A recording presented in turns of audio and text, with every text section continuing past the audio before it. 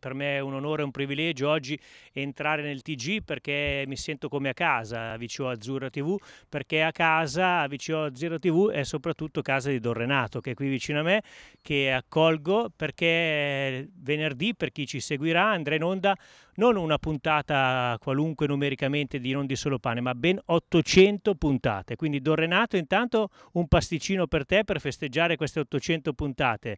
Se sarai bravo, ma credo di sì, ne mangerai 800.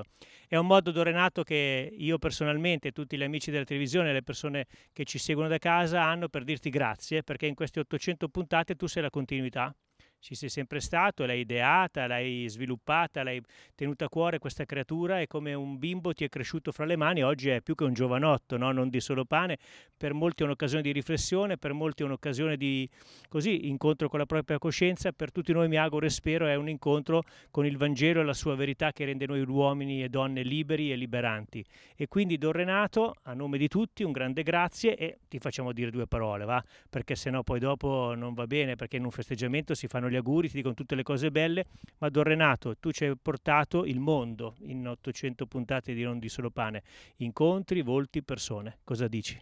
Dico grazie alle persone incontrate in giro per il mondo, a chi ci ha accompagnato, Don Giorgio, a te, agli operatori, alle ragazze e ai ragazzi della televisione, a tutti, a chi ci segue da casa, a volte con pazienza, sopportando le tue esuberanze giovanili e le mie lentezze magari dovute all'età.